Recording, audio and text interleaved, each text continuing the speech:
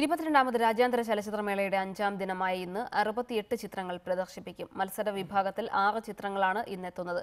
മലയാളത്തിൽ നിന്ന് സഞ്ജു ഏതൻ ഇന്ന് പ്രദർശിപ്പിക്കും. പതിനാല് തിയേറ്ററുകളിലായി അറുപത്തെട്ട് ചിത്രങ്ങളാണ് ഇരുപത്തിരണ്ടാമത് രാജ്യാന്തര ചലച്ചിത്രമേളയുടെ അഞ്ചാം ദിനത്തിൽ പ്രദർശനത്തിനെത്തുന്നത്. മത്സര വിഭാഗത്തിൽ ആറ് ചിത്രങ്ങളാണ് ഇന്ന് മേളയുടെ ഭാഗമാകുന്നത്. പ്രേംശങ്കർ സംവിധാനം ചെയ്ത മലയാള ചിത്രം രണ്ടുപേർ പ്രേഗാന സംവിധാനം ചെയ്ത ഫ്രഞ്ച് ചിത്രം I still hide to smoke എന്നിവയാണ് എടുത്തു പറയത്തക്ക മത്സര ചിത്രങ്ങൾ.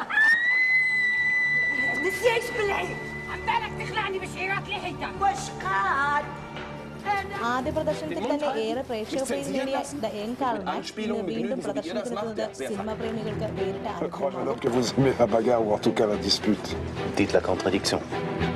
Karl Marx.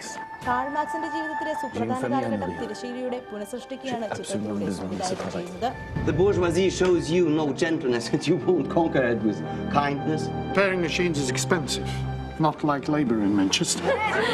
Ten fingers is all we're worth ചലച്ചിത്രമേളയിൽ പ്രേക്ഷക ശ്രദ്ധ നേടിയ ഫ്രഞ്ച് ചിത്രം ഡിജാമും stories that our cinema did not ടെല്ലും നാളെ പ്രദർശിപ്പിക്കും.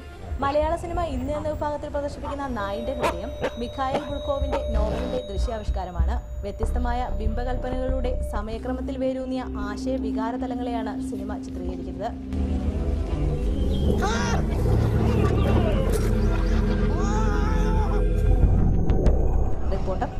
bro.